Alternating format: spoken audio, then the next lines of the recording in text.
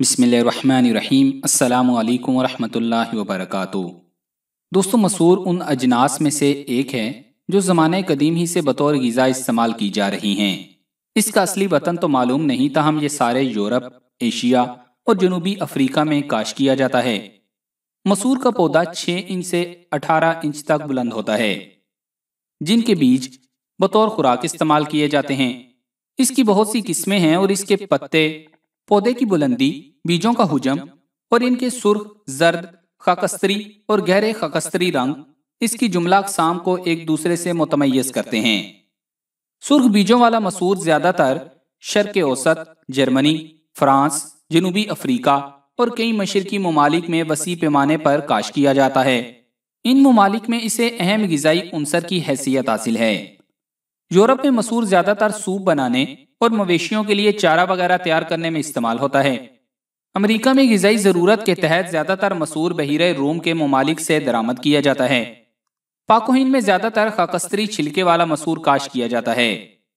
कुरान हकीम में इसका ज़िक्र यूँ आता है कि बनी इसराइल मनोसलवा जैसी खुदादाद नेमत की नकदरी करते हुए दूसरी अशिया के अलावा मसूर के भी ख्वाहिशमंद हुए थे।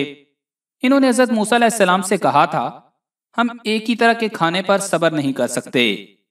अपने रब से दुआ करो कि हमारे लिए ज़मीन की पैदावार, तरकारी, खीरे, लहसन, मसूर और प्याज पैदा करे।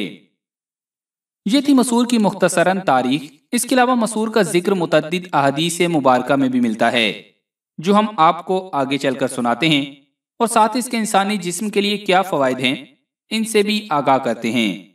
तो आगे बढ़ने से कबल आपसे गुजारिश है कि इस वीडियो को लाइक करें और अगर अभी तक आप हमारे चैनल उर्दू लैब का हिस्सा नहीं बने तो उर्दू लैब को सब्सक्राइब करके घंटी का बटन ज़रूर दबा दें। दोस्तों, आजकल घरों में अक्सर फार्मी मुर्गी पकाई जाती है और अगर होटलों के बाहर तरतीबवार छिली हुई मुर्गियों की लंबी कतार देख लें तो अंदाज़ा करना मुश्किल नहीं कि ये जनरेशन किस खाने का ज़्यादा शौक रखती है। बच्चे और नौजवान दाल और सब्ज़ी के नाक पर नाक भूं चढ़ाते नज़र आते हैं। और दूसरी जानब बास खातन भी काहिल और तन आसान हो गई हैं कि डब्बे की मिसालों और फार्मी मुर्गी से आधे पौने घंटे में मुख्तलिफ़ जैकों के सालन तैयार हो जाते हैं। तो भला क्या ज़रूरत? घंटों मुख्तलिफ़ अकसाम के रिवायती खाने, उनके असली मिसालों और अज्जा के साथ तैयार करने की। मुझे सख्त हैरत होती है कि ये कैसी बदनसीब जनरेशन है, जो दाल जैसी लजीज और मुफीद गज़ा से महरूम है। दालों को अगर दुरुस्त तरीके से बनाया जाए और इनके साथ ज़रूरी लवाजमात भी पेश किए जाएँ तो दालें भी कौरमे कढ़ाइयों से किसी तरह कम नहीं, बल्कि ये ज़्यादा लज्जत वाली होती हैं। दाल असल में संस्कृत जबान का लफ्ज़ है, जिसके माना है, कटा हुआ, लफ्ज़ दाल कटे हुए दाने को कहते हैं। लेकिन अब पकाकर खाने वाले तमाम फलीदार बीजों के लिए यही इस्तलाह इस्तेमाल होती है।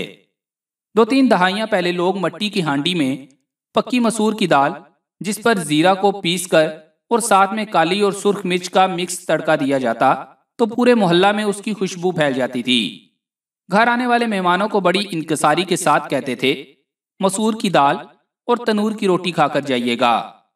और आजकल अक्सर लोग बड़ी रौनक के साथ और मुँह बसूड़ कर कहते हैं कि मैं फुलाने के घर गया था, वहाँ तो मसूर की दाल बनी थी और सुनने वाला हंसने लग जाता है। चंद लोग होंगे जिन्हें ये दाल बहुत पसंद होगी और ये लोग जहाँ भी ये दाल बनी हो ये जुमला बोलकर पुराने लोगों की इस दाल से मेहमान नवाजी की याद को ताज़ा कर देते हैं। दाल मसूर दी, ते रोटी, तनूर दी। दोस्तों, हज़रत वासला रज़ी अल्लाह से तिबरानी में रिवायत है कि नबी करीम सल्लल्लाहु अलैहि वसल्लम ने फरमाया, तुम्हारे लिए कद्दू मौजूद है। ये दिमाग की सलाहियत को बढ़ाता है और तुम्हारे लिए मसूर की दाल मौजूद है। जिसकी तारीफ़ कम अज कम सत्तर अम्बिया की जबान मुबारक पर रही। इसी तरह इबन कईम रहमत ने हज़रत आयशा रज़ी तला से मनकूल एक रिवायत नकल की है कि जिस किसी ने कद्दू के साथ दाल मसूर खाई, उसका दिल तंदुरुस्त हुआ, उसकी कुत मरदमी में इजाफा हुआ और अगर इसके साथ मीठे अनार और सुमाक को इस्तेमाल करे तो सुफरा की तलखी भी कम हो जाएगी। सुमाक एक हाजिम और मुकवी दरख्त है, इसकी तस्वीर आपको स्क्रीन पर नज़र आ रही होगी।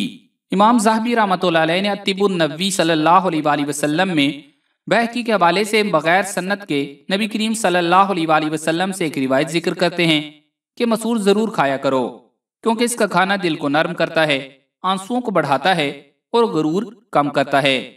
अल मकारिमुल अखलाक में एक और रिवायत है कि मसूर की दाल से प्याज जायल होती है, मैदा को कुवत मिलती है, सुफरा को मानत करती है, मैदा को साफ़ करती है, खून की हिद्दत और हरारत को बरतरफ करती है। कर्ज मसूर की दाल सत्तर अमराज में शिफा देती है। दाल मसूर गजाइत और मादनियात से भरपूर माला माल गजा है। दुनिया के कुछ ममालिक में इसे खुश नसीबी की अलामत भी समझा जाता है। गजाइत के लिहाज से मसूर की दाल में 12 फ़ीसद रतूबत 25 फ़ीसद प्रोटीन 60 फ़ीसद कार्बोहाइड्रेट्स पाई जाती हैं, जबकि पोटाशियम और फास्फोरस भी वाफर मिकदार में मौजूद होती है। माहरीन तिब कहते हैं कि मसूर की दाल आयरन और प्रोटीन का बेहतरीन ज़रिया है, जो खुलियों की नशोनुमा के लिए अहम है। जिसमें बालों के खुलिये भी शामिल हैं। ये दाल बालों की जड़ों को मज़बूत बनाने के साथ साथ बालों को दरकरार, अहम गजा की सलाहियत रखती है। मसूर की दाल हाई ब्लड प्रेशर और शुगर लेवल को कंट्रोल करने के लिए इंतहाई मुफीद है। कनेडा में होने वाली एक तहकीक के मुताबिक मसूर की दाल का इस्तेमाल ब्लड प्रेशर को खतरनाक हद तक बढ़ने से रोकता है। माहरीन का कहना है कि मसूर की दाल इंसानी खून को साफ़ करने में अहम किरदार अदा करती है। एक प्लेट मसूर की दाल रोज़ाना खाने से मतलूबा खुराक का सैंतीस फ़ीसद आयरन हासिल होता है। और मसूर की दाल का एक बड़ा फ़ायदा यह है कि हमारे पट्टे मज़बूत बनाती है। ये कोलेस्ट्रोल को कम करके दिल को सेहतमंद रहने में मदद देती है और वज़न कम करने की बेपना सलाहियत रखती है। मसूर की दाल खाने वालों की जिल्द खराब नहीं होती और वो अपनी उम्र से इंतहाई कम दिखाई देते हैं। विटामिन की खासी मकदार रखने की बदौलत ये हड्डियों और दांतों को भी मज़बूत बनाती है। मसूर की दाल में चूँकि विटामिन ए, बी और ई पाए जाते हैं। लिहाजा ये बिनाई बढ़ाने में भी खासी मुआवन साबित होती है। अगर आप चाहते हैं कि आपका चेहरा हमा वक्त चमकता, दमकता रहे तो मसूर की दाल को अपनी रोज़मर्रा खुराक में शामिल कर लें। मसूर की दाल के एक प्याले में इतनी गजाइत मौजूद होती है, जो आपके दिन भर के खाने की ज़रूरत को पूरा करने के लिए काफ़ी है। दाल मसूर को हल्के मिसाले के साथ खाने से आंतों की सेहत बेहतर रहती है, और उनमें कैंसर का खतरा कम हो जाता है। मसूर की दाल खाने से कब्ज की शिकायत भी दूर होती है। ये फवायद हासिल करने के लिए हफ़्ते में कम अज कम दो बार मसूर की दाल ज़रूर खानी चाहिए। मसूर की दाल शुगर के मरीजों के लिए बेहतरीन है, क्योंकि फाइबर मौजूद होने की वजह से दाल खाने से मरीजों के खून में शुगर की मकदार में ज़्यादा इजाफा नहीं होता। मसूर की दाल में फुलाद मौजूद होता है, फुलाद से खून के सुर्ख खुलिए बनते हैं, और अगर फुलाद की कमी हो तो जिस्म में खून की कमी हो जाती है। खातन में फुलाद की कमी की वजह से खून की कमी की बीमारी बहुत आम है। खून के सुरखुलिये ऑक्सीजन की सप्लाई का काम करते हैं और अगर इनकी कमी हो तो मरीजों में थकन की शिकायत हो सकती है। मसूर की दाल इसका बेहतरीन इलाज है। मसूर की दाल में फुलेट मौजूद होता है। हमला खातन में फुलेट की कमी की वजह से इनके होने वाले बच्चों में जिस्मानी खराबियाँ पैदा हो जाती हैं। इनमें से एक संजीदा बीमारी न्यूरल ट्यूब डिफेक्ट है। इस बीमारी के शिकार मासूम बच्चे तमाम ज़िंदगी के लिए माजूर हो जाते हैं। मसूर की दाल में नुकसानदेह चिकनाइयाँ न होने के बराबर होती हैं। मसूर की दाल एक बेहतरीन डाइट भी है। अगर आप वज़न कम करने की कोशिश में लगे हुए हैं तो मसूर की दाल को अपनी खुराक का बाकायदा हिस्सा बनाएँ। अब आपको मसूर की दाल बनाने का तरीका बताते हैं। सबसे पहले एक बर्तन चूल्हे पर रख दें और इसके बाद आप प्याज छोटा छोटा काट कर उसमें डाल दें।